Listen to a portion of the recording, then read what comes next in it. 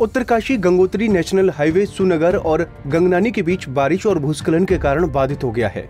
मार्ग में भूस्खलन के कारण बड़े बड़े होल्डर और मलबा सड़क पर आ गया है, जिस कारण सड़क के दोनों ओर तीन दर्जन से भी ज़्यादा लोग फंस गए हैं। उनको आपदा प्रबंधन और बीआरओ के कर्मचारियों ने रेस्क्यू कर अपने गंतव्य की ओर रवाना किया। तो वहीं आए दिन हो रही बारिश और भूस्खलन से गंगोत्री नेशनल हाईवे कई बार बाधित हो रहा है। भारी बारिश के चलते गंगोत्री राष्ट्रीय राजमार्ग पर गंगनानी व श्रीनगर के बीच रेड़ा तोक नामक जगह पर भारी भूस्खलन के कारण गंगोत्री राष्ट्रीय राजमार्ग बाधित हो गया है।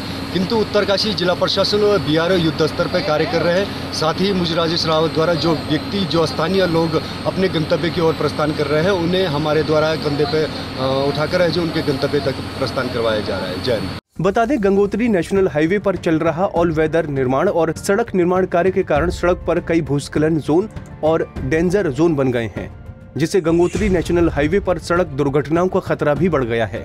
हालाँकि मार्ग खोलने के लिए बीआरओ और आपदा प्रबंधन के कर्मचारी जेसीबी मशीन द्वारा युद्ध स्तर पर जुटे हुए हैं। पंजाब केसरी टीवी के लिए उत्तरकाशी से आशीष मिश्रा की रिपोर्ट।